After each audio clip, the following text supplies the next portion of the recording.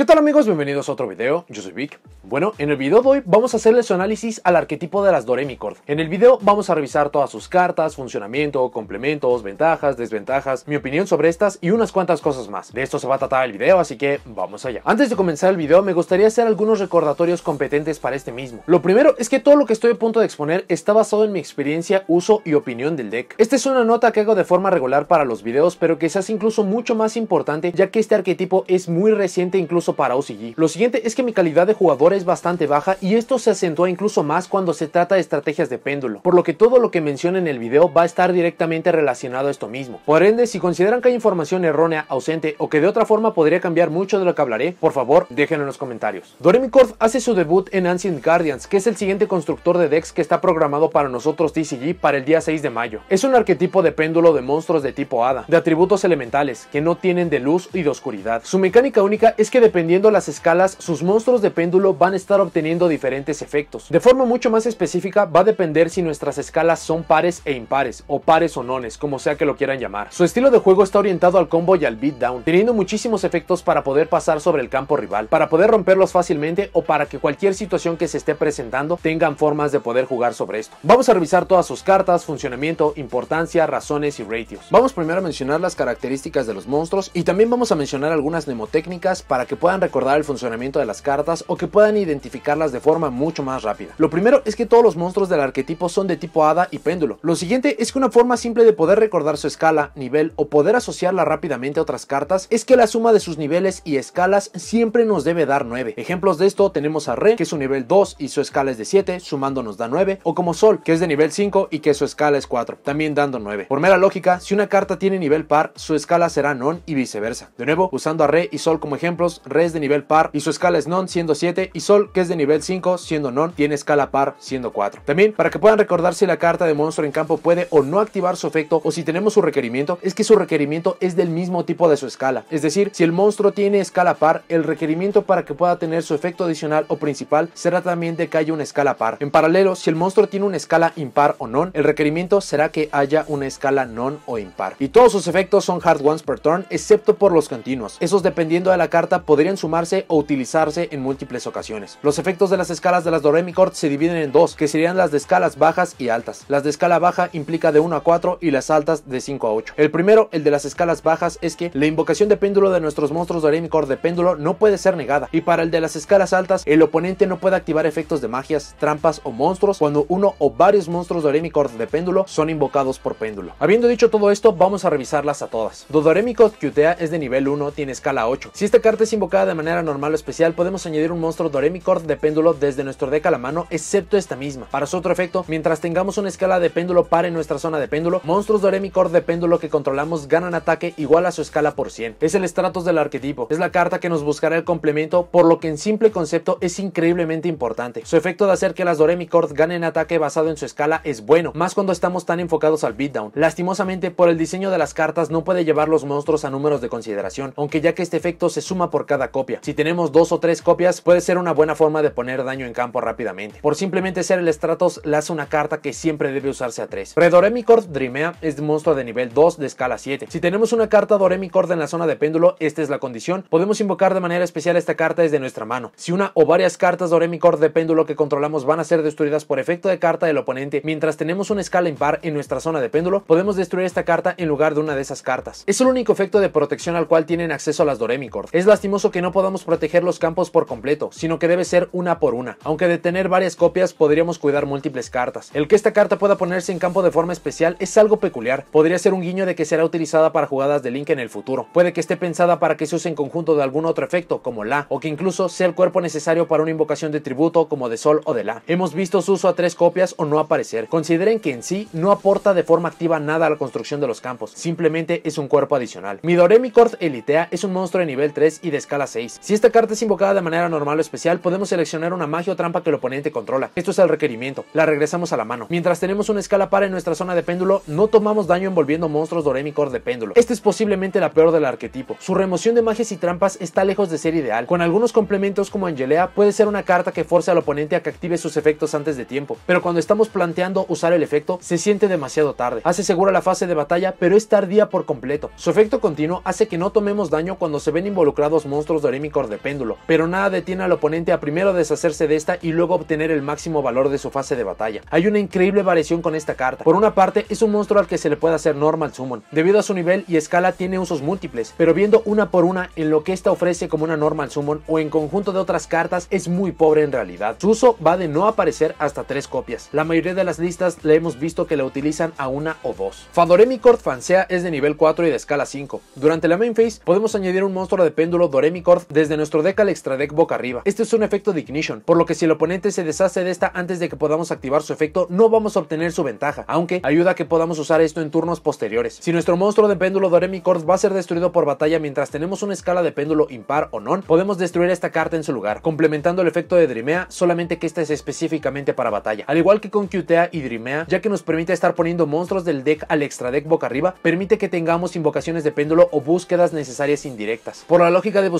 y ser cartas que se pueden hacer normal summon, también es una carta que queremos ver de forma continua. Se le ve usualmente a tres copias. Sodoremicord Gracea es de nivel 5 y tiene escala 4. Si esta carta es invocada de manera normal o especial, podemos añadir una magia o trampa Doremicord desde nuestro deck a la mano. Si nuestro monstruo de péndulo Doremicord ataca mientras tenemos una escala par en nuestra zona de péndulo, nuestro oponente no puede activar efectos de monstruo hasta el final del damage step. El primer efecto es su buscador de magias y trampas, y gracias a la potencia de las magias del arquetipo, es un efecto que queremos resolver la mayoría del tiempo. Su segundo efecto de batalla llega a ser importante cuando nos enfrentamos a arquetipos con protecciones o que por alguna razón tienen efectos específicos de batalla, pero solo es al uso de efectos de monstruos, dejando el complemento de esta carta para la siguiente. El uso de esta es peculiar, en papel es una carta que queremos ver lo antes posible. No obstante, ya que no se puede hacer normal summon, necesitamos otras formas de invocarla, y considerando que tenemos muchos efectos para buscarla de forma directa o indirecta, pueden reducir el número de esta. Es una carta que siempre se le ve, su uso varía mucho entre 2 y 3 copias. La Doremicord Angelea es un monstruo a nivel 6 y escala 3. Durante nuestra main phase podemos tributar un monstruo Doremicord de péndulo, y si lo hacemos, invocamos de manera especial un monstruo Doremicord de péndulo desde nuestro deck, cuya escala de péndulo sea 2 más o menos que el monstruo tributado, excepto esta misma. Este efecto es en papel algo que querríamos, ya que permite cambiar cartas inútiles por otras con efecto superior, permite poner cuerpos más grandes, permite incluso por ir por piezas que nos hacen falta. Le ayuda muchísimo que todo esto es efecto, por lo que no hay tributo de esta carta en caso de que su efecto sea negado. Pero estar limitado para invocar monstruos dos escalas arriba o abajo amarra a los monstruos a algunos demasiado específicos,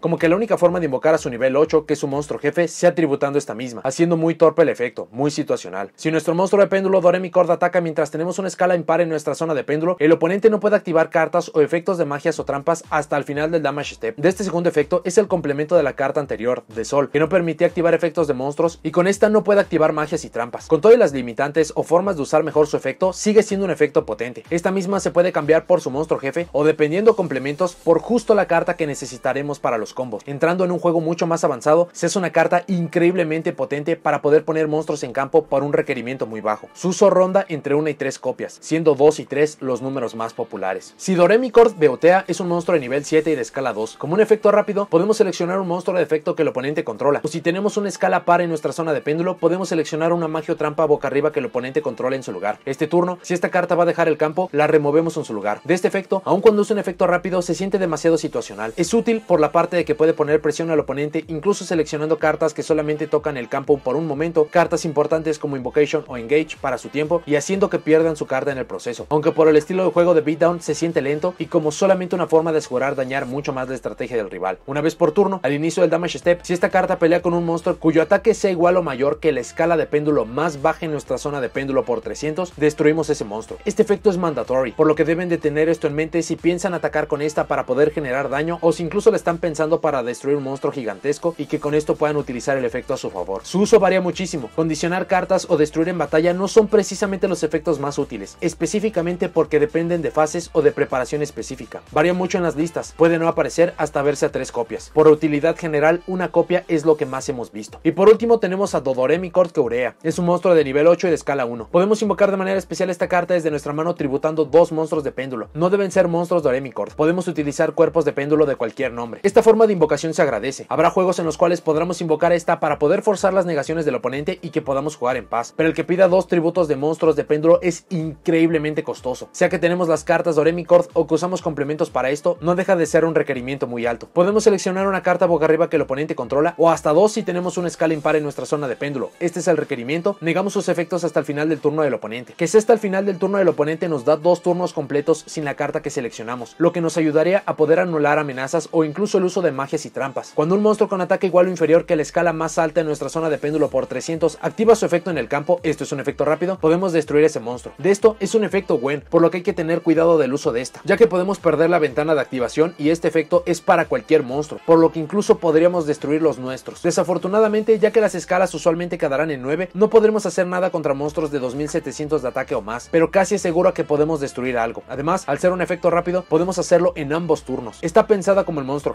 De forma peculiar, sale del molde de las Doremicord ya que no tiene un efecto continuo, sino que condiciona o pone la presión al oponente, tanto yendo primero o segundo. Es usualmente la carta con la que queremos empezar las jugadas para poder forzar la negación del rival o con la que queremos acabar para poder poner todo el daño en campo. Siempre se le ve, el promedio está entre 2 y 3 copias. Para sus magias y trampas, primero tenemos a Doremicord Elegance, es una magia normal. Activamos uno de estos efectos. Ponemos un monstruo Doremicord de péndulo desde nuestro deck en la zona de péndulo, lo que es un efecto excelente, puesto que permite que podamos estar poniendo una escala, jugando alrededor de Ash Blossom y prácticamente asegurándonos que tenemos la escala par, impar o la específica que necesitamos para la jugada. Añadimos un monstruo Doremicord de péndulo desde nuestra mano al extra deck boca arriba. Luego ponemos dos monstruos de péndulo Doremicord, uno con escala par y el otro impar, desde nuestro deck a las zonas de péndulo. De forma similar al efecto anterior, con la ventaja de que con esta podemos acomodar por completo las escalas. La carta que ponemos en el extra deck usualmente será el complemento, una carta repetida. Y por último, podemos añadir dos cartas desde nuestra zona de péndulo al extra deck boca arriba, una con escala par y la otra con escala impar, si lo hacemos, robamos dos cartas. De este efecto, las escalas no deben de tener un nombre específico, solamente ser par e impar, y robaremos dos cartas, lo que en papel parece muy potente, pero solo en manos muy específicas vamos a querer intercambiar nuestras escalas por dos cartas al azar, y solamente podemos activar una de estas por turno. Es una carta fundamental, nos da los complementos y el efecto que específicamente necesitamos para el turno. Los primeros dos efectos son los más comunes, y el tercero solamente se usará cuando tengamos completo dominio del juego, cuando sepamos que podemos perder las escalas o en situaciones de emergencia. Por tener tres efectos diferentes y tan útiles, siempre se le ve su uso a tres copias. Luego tenemos Doremicord Scale, que también es una magia normal. Aplicamos cualquiera de estos efectos en secuencia basado en el número de cartas de monstruos Doremicord con nombres diferentes que controlamos. Y para lo mencionado de las cartas monstruo Doremicord, esto implica las cartas tanto en las escalas como en las zonas de monstruo. Está redactada de forma peculiar, pero también se consideran las escalas. Tres o más, regresamos una carta desde nuestra zona de péndulo a nuestra mano. Y si lo hacemos, ponemos boca arriba un monstruo Doremicord de péndulo desde nuestro extra deck a la zona de péndulo, lo que permite recuperar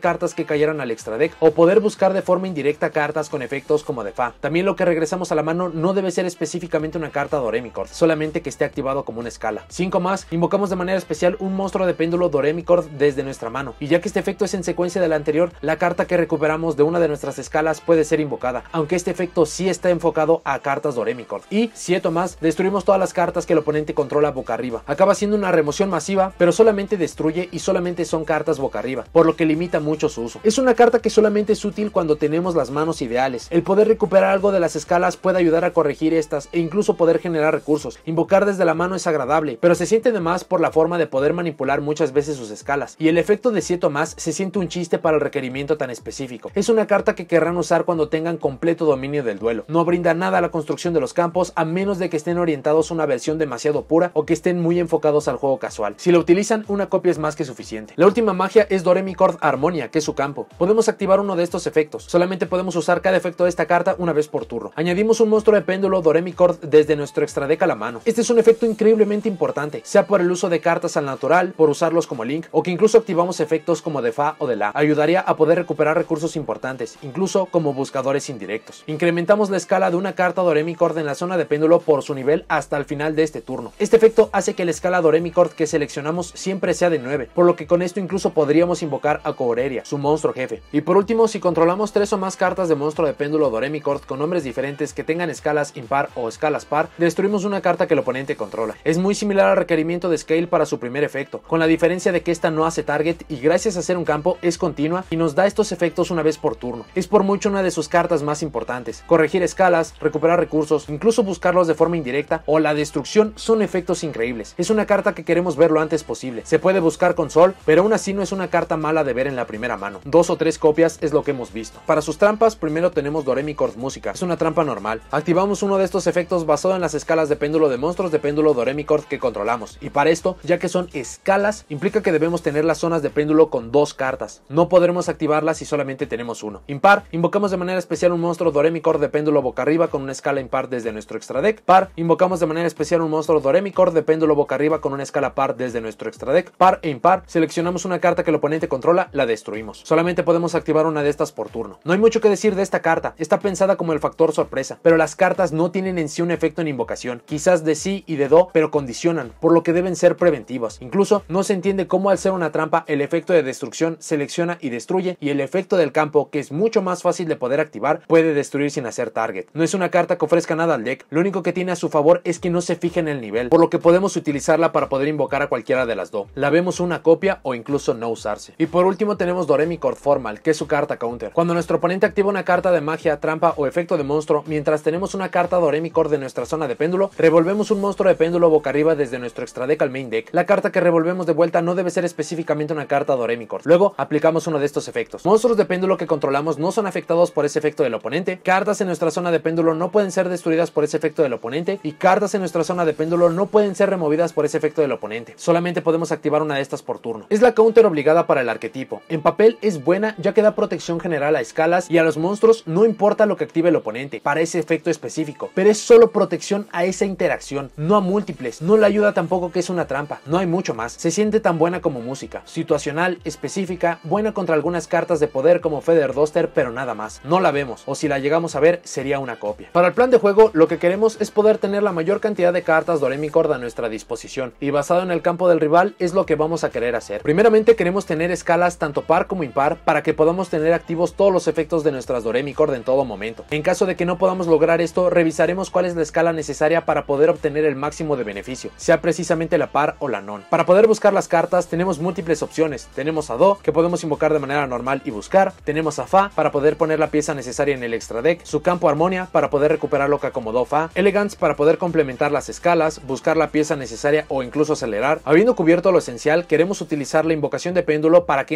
entren efectos que nos ayudarán a poner la presión en el oponente. Mi para poder condicionar magias y trampas. Sol para poder buscar magias o trampas, sea para poder complementar nuestro campo o para el siguiente turno. La para intercambiar un monstruo del campo con algo del deck. Si para destruir cartas basado en nuestra escala o incluso para poder condicionar una carta en el campo y que se vaya removida o incluso ir directamente por Do, su monstruo jefe, para negar efectos de cartas en campo y pasar al beatdown. En caso de que estemos en otro momento dependeremos de lo que hace el rival. Do permite destruir monstruos de ataque bajo pero sigue siendo una interacción. Si puede remover piezas esenciales o el uso de las trampas para poder hacer que el campo pueda llegar al siguiente turno. Al ser de combo y sin restricciones de ningún tipo, son muchas las piezas que podemos añadir al plan de juego y que permitirán resolver cualquier tipo de situación que se presente. Para las ventajas, la cantidad de efectos a la cual tienen acceso es increíble. Solo por mencionar algunos, tenemos protección a destrucción por efecto, protección a destrucción por batalla, aumentos de ataque, regresar magias y trampas a la mano del oponente, buscar magias y trampas de su arquetipo, invocación desde deck, condicionar cartas a que se remuevan cuando dejan el campo, no permitir que el oponente pueda activar nada hasta el final del damage step. Esto puede ser magias, trampas y monstruos, negadores de efectos, de magias, trampas. Hay pocos efectos a los cuales no tienen acceso y esto le permite resolver casi cualquier situación. No tenemos restricciones de ningún tipo, se pueden combinar con lo que sea de péndulo o cosas que necesitemos, lo que permite que sean usadas como un motor o usar motores para el futuro. Tienen acceso a cartas que pueden generar una ventaja increíble, como Armonia, que se puede considerar un más 2 cada turno, incluso con una destrucción en campo que no hace target, o de Do, tu nivel 1, que parece insignificante pero que puede sumar daño rápidamente. Aun con la ausencia de Electromite para nosotros TCG, el deck puede buscar prácticamente cualquier recurso, todo gracias a cartas como Do, Fa, Armonia, Scales y Elegance. Es increíblemente difícil que el oponente pueda llevar el ritmo de juego y efectos que estamos usando. En simuladores, en juego en línea, es un tanto más simple, pero jugándolos en físico es casi una pesadilla para el rival. De forma similar, es formidable en juegos largos, ya que muchos de los efectos son una vez por turno y pueden buscarnos o recuperarnos cartas. Esto lo pueden hacer de forma continua cada turno y por ende provocar una invocación masiva de péndulo cada turno que podamos usar. El extra deck puede o no ser necesario, por lo que pueden usarlo para cartas de poder, cartas de complemento o incluso usarlo para corregir problemas del deck. Tienen una capacidad interesante de Swarm. Esto está muy orientado después de la invocación de péndulo, pero podríamos obtener las interacciones que nos hacen falta con esto. Muchas de sus búsquedas no las hacen de forma habitual, pasan al extra deck y luego a la mano, por lo que pueden jugar alrededor de cartas como Ash Blossom. Las escalas no deben de ser Doremi Cord para poder obtener los beneficios, solamente deben de ser par o impar, ayudando a que más cartas entren en el auxilio de este arquetipo. Aunque si son escalas Doremi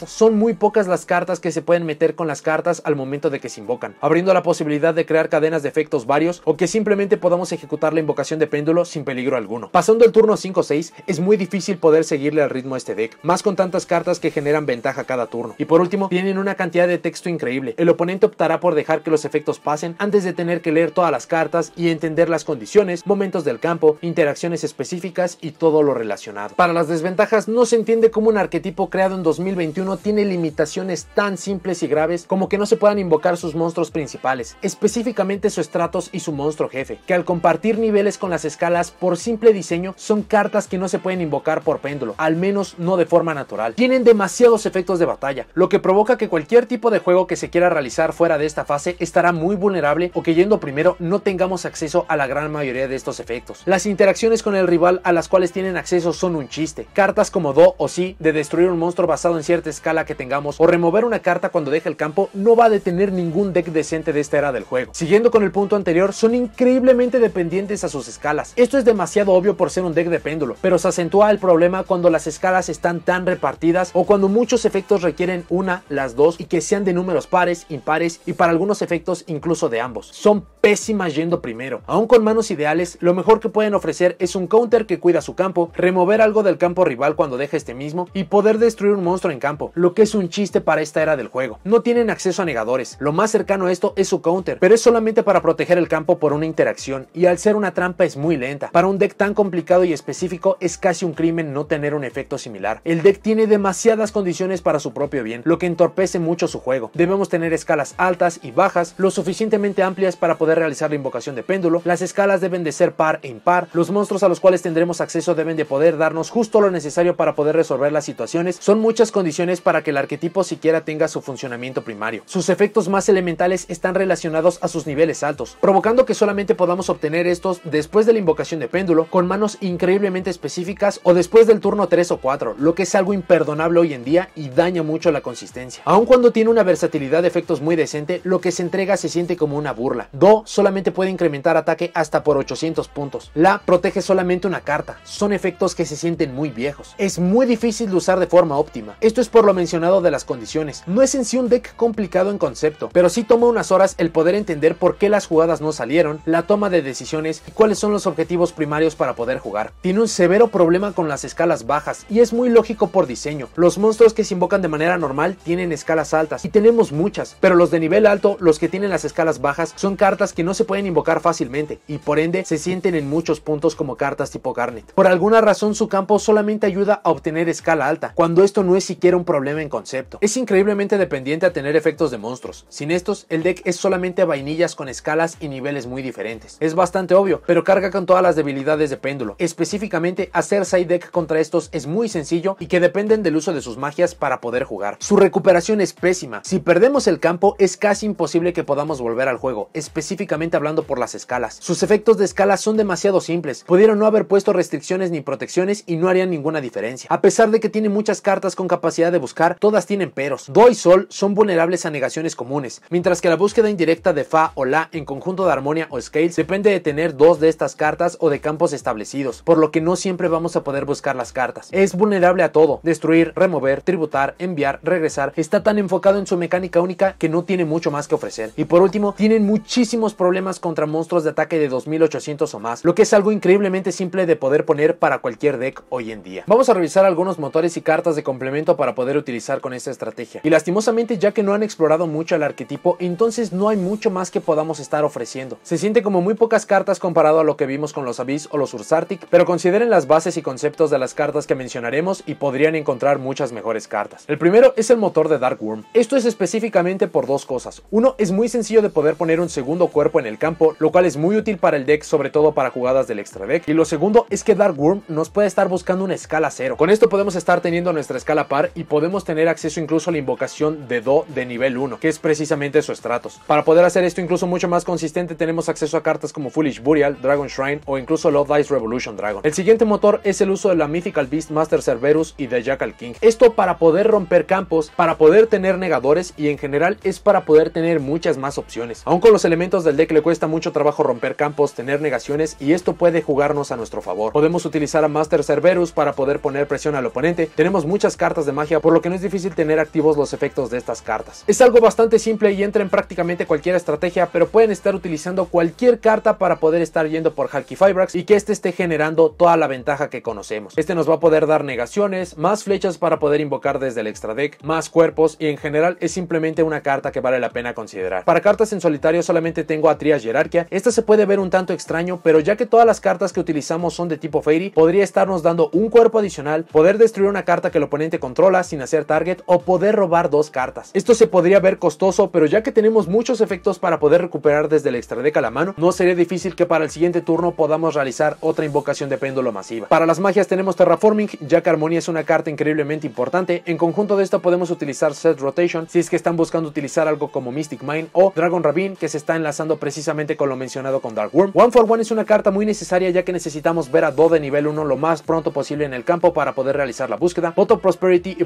Pot of Extravagance para poder estar excavando por recursos mucho más profundos. No utilizamos el extra deck así que podemos estar prescindiendo de este mismo o Pot of Extravagance porque simplemente ese más uno nos va a poder ayudar en las jugadas. Realmente no tenemos efectos para robar así que son complementos increíbles. Ya mencioné que no utilizamos el extra deck para nada así que super polimerización con blancos viables para algún formato podría ser una muy buena opción. Wavering Ice es una carta increíblemente costosa pero nos puede estar dando la búsqueda tan necesaria. Habrá juegos en los cuales estar buscando Do, sea el de nivel 8, el de nivel 1 o simplemente el nombre que nos haga falta podría ser muy bueno. Incluso si se llegan a enfrentar a una estrategia de péndulo, esta carta no ha perdido nada de potencia a como lo vimos en su lanzamiento. Esta estrategia tiene muchos problemas contra magias y trampas, así que cartas que fomenten el odio contra estas, específicamente Harpy's Feather Duster o Lightning Storm para poder limpiar los campos. Tenemos acceso a muchísimos niveles diferentes, así que Reasoning podría asegurarnos un cuerpo en campo, Upstart Goblin simplemente para reducir las cartas en el deck y tener mucha más consistencia, Pendulum Shift para poder estar cambiando una escala, tiene muchos problemas para poder tener las escalas necesarias, así que poder utilizar esta carta en cierta medida podría ayudarnos a corregir ese problema. Para las trampas solamente tengo arriba al Rift Warlords porque todos los monstruos que utiliza son de tipo Fairy. Y en general, ya que el deck no tiene ninguna clase de restricción, pueden estar utilizando cualquier cantidad de cartas de péndulo que les puedan ayudar. Tenemos a los Magician, a los Odd Eyes, a los Performapal, así que lo que sea que piensen utilizar les puede dar cuerpos, negaciones, más ataque, versatilidad, lo que sea que puedan utilizar y hay que aprovechar la ausencia de restricciones para esto. Para el extra deck había mencionado a Halky Fibrax, esto puede repercutir en múltiples combos, en muchas negaciones, es una carta que hay que tener en mente. Este deck pone muchísimos cuerpos en campo, así que utilizar a la Underworld Goddess no es algo descabellado para poder romper el campo rival, no es una carta que recomendaría en primer lugar, pero es uno de los pocos decks que pueden permitirse poner tantos cuerpos en campo, específicamente monstruos de Xi. Ahora, estoy utilizando los de rango 4 porque había mencionado previamente al Supreme King Dragon Dark Worm, pero no se limita solamente a estos, así que cualquier monstruo de rango 1 a 8 podría servirnos bastante. El uso de las cartas de los Charmer ya que tienen acceso a estos mismos atributos y podría ser una forma muy simple de poder subir para las jugadas de Link. El Black Luster Soldier Soldier of Chaos es una carta un tanto costosa, todavía estamos a la espera de ver qué tan accesible va a ser después de Ghost from the Past, pero podemos estar intercambiando muchos de nuestros monstruos por esta carta jefe y puede ganarnos en solitario muchos juegos. Podemos estar utilizando prácticamente cualquier tipo de Link, pueden ser genéricos como los monstruos Nightmare para poder resolver cualquier situación, Masquerena precisamente por los cuerpos que podemos generar o incluso algo definitivo como Apollousa. Por extensión, podemos utilizar cartas de Link 4 como Borreload o Porrel Sword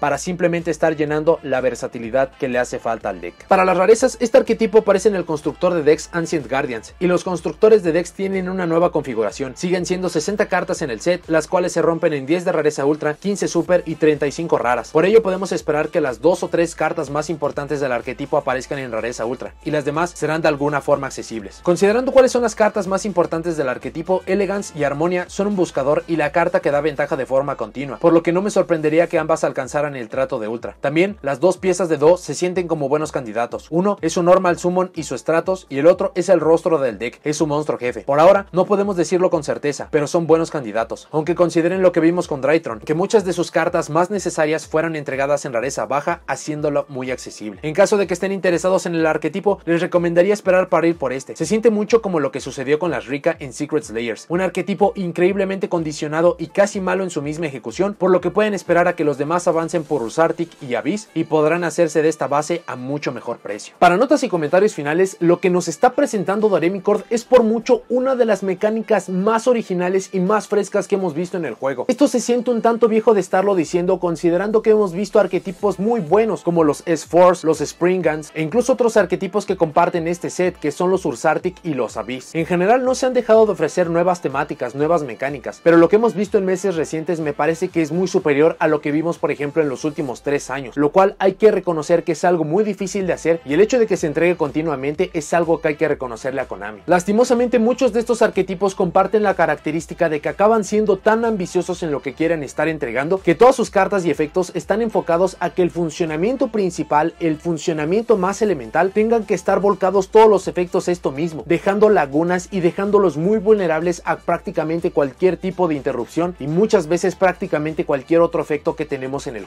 Y es precisamente lo que nos está entregando Doremicord. En papel es una mecánica completamente única. Son 8 monstruos con niveles diferentes, escalas diferentes, van a tener efectos adicionales si hay escalas pares o nones. El problema es que están tan volcados a ello que acaban teniendo problemas muy graves. Y por muchos momentos se llega a sentir algo casi desastroso. Un arquetipo con estas características, limitaciones y tan pocas formas de poder resolver diferentes situaciones se podría sentir como algo potente para 2013-2014, cuando la mecánica de péndulo apenas estaba empezando cuando se veía como un horizonte muy lejano. Pero para un deck que se está entregando en 2021 es algo de lo más pobre que hemos visto últimamente. No obstante me gustaría hacer varios recordatorios, como que la mecánica de péndulo es algo que a mí se me dificulta muchísimo jugar, por lo cual puede haber mucho más potencial en estas mismas cartas que no esté mostrando. También ya es algo que mencioné para los análisis de los Ursartic y de los Abyss, hay muchas cartas que se pueden estar entregando para los sets principales en el futuro y que podrían estar llevando esta estrategia al siguiente nivel. Lastimosamente no hay algo que pueda estar proponiendo como lo mencioné en los otros dos videos y la carta que se tendría que estar entregando tendría que ser algo con la potencia de Double Helix, con la ventaja que nos da Pot of Greed o algo similar. En concepto que se entreguen cartas con semejante potencia se antoja como algo imposible, pero hemos visto que los complementos que lanzan para el futuro acaban siendo cartas muy específicas pero que pueden llevar este al siguiente nivel. Así que no dudo que las Doremi Cord todavía puedan estar dando una sorpresa de alguna forma. Llama la atención que hace unos cuantos días fue entregada la siguiente banlist para nosotros DCG y que no viéramos el movimiento de Electromite. Lo menciono específicamente porque esta carta podría ayudar horrores para esta estrategia. Podría dar el más uno que es tan necesario, podría ayudarles con el severo problema que implica tener escalas bajas y en general hubiera sido una muy buena carta para tener para este formato. No los hubiera llevado a la cima del meta, no los hubiera hecho el monarca del formato, pero sí hubiera sido una muy buena carta para poderles ayudar a corregir muchos de sus problemas y que siquiera pudieran estar funcionando. En concepto, pareciera que se está confiando en que este arquetipo va a ser popular, va a ser vendido debido a la temática y a los artworks que se están entregando. Algo muy similar a lo que vimos en Secret Slayers para la rica. Si están buscando un deck nuevo, original, que tenga una mecánica completamente única que nunca hemos visto nada parecido en el juego, si les gustan las estrategias de péndulo en cualquier capacidad, sean muy competitivas o que simplemente para poder realizar esta mecánica, si les gustan los arquetipos que están basados en temáticas musicales, si están buscando un deck de beatdown aun cuando tenga carencias específicas, los decks de combo y los decks que tienen una increíble capacidad de construcción son algunos de los elementos que mencionaría para que puedan estar volteando a ver a las Doremicord. Con este análisis estamos terminando con la cobertura de los arquetipos que hacen su debut para Ancient Guardians. En papel, los Abyss parecen tener el futuro mucho más prometedor, son en general el que tienen el mejor funcionamiento y las Doremicord lastimosamente son las que están hasta el fondo. No obstante hay que recordar que no todas las estrategias que son lanzadas y específicamente para los constructores de decks tienen que ser el siguiente rostro del meta. Me parece que esto es muy evidente para las cartas Doremicord. Es una estrategia muy original, es un concepto que no creo que hayamos visto algo similar en el pasado y que va a ser muy entretenido para los que estén buscando una estrategia nueva. Pero lastimosamente me parece que tienen muchas carencias que muy seguramente se van a tener en consideración para el soporte que se esté lanzando en el futuro. Otro aspecto es que la atención que tiene este arquetipo se siente muy pobre contra lo que hemos visto contra por ejemplo Ursartic y Abyss o prácticamente con cualquier otro arquetipo que hemos visto en el pasado. Así que tampoco descartaría que cuando más jugadores estén volteando a ver este arquetipo se puedan encontrar construcciones base, construcciones que sean muy potentes y pueda tener un mucho mejor futuro del que yo estoy mostrando. Por ahora habrá que esperar el apoyo que se le va a entregar en los sets principales y solamente el tiempo le podrá dar su lugar. Pero bueno, eso es todo lo que tengo para este video. Muchas gracias por haberlo visto. Déjenme en los comentarios qué les parece el arquetipo de Doremicord. ¿Les gusta? ¿No les gusta? ¿Qué creen que le hace falta? ¿Qué les gustaría ver para el futuro? Y si tienen planes para este cuando llegue a nosotros TCG. Si llegaron hasta aquí, dejen me gusta, suscríbanse, activen la campanita para saber cuando subo nuevos videos y nos vemos en la siguiente.